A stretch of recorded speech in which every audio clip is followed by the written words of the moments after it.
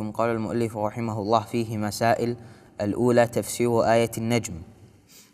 الثانية معرفة نعم تفسير آية النجم ذكرناه. نعم. الثانية معرفة صورة الأمر الذي طلبوا. نعم.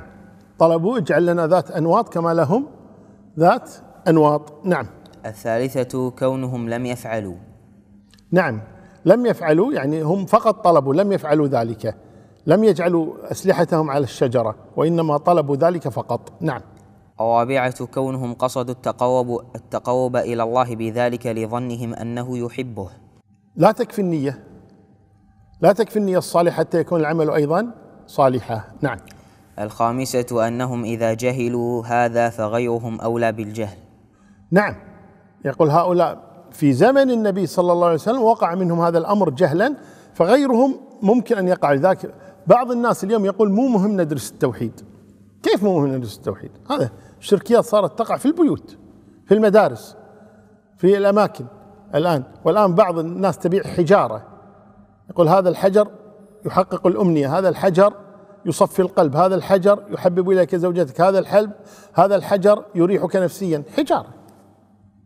فقضية أن إذا كان الصحابة رضي الله عنهم الذين كانوا يعيشون مع النبي صلى الله عليه وسلم يعني حدثاء العهد بالكفر وقع منهم هذا فغيرهم أيضا يمكن أن يقع منه هذا الأمر.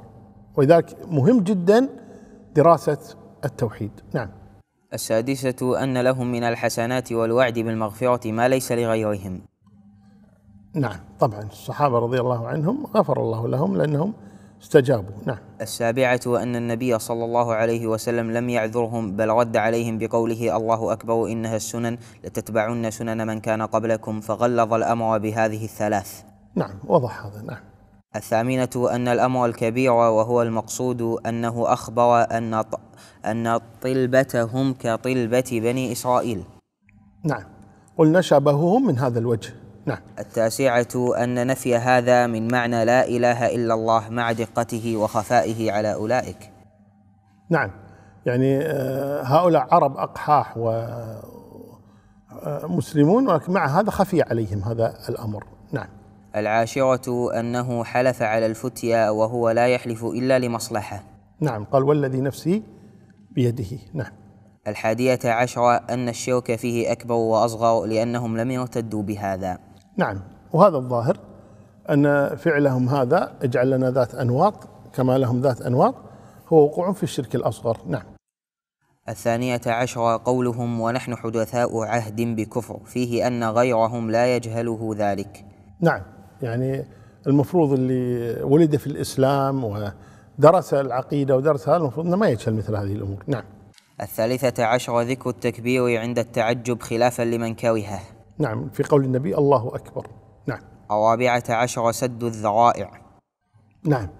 لأن النبي صلى الله عليه وسلم منع هذا الأمر حتى لا يقع في الشرك الأكبر.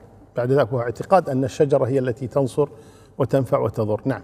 الخامسة عشر النهي عن التشبه بأهل الجاهلية. نعم. حذر النبي صلى الله عليه وسلم من ذلك قال لتتبعن سنن من كان قبلكم. نعم. السادسة عشر الغضب عند التعليم.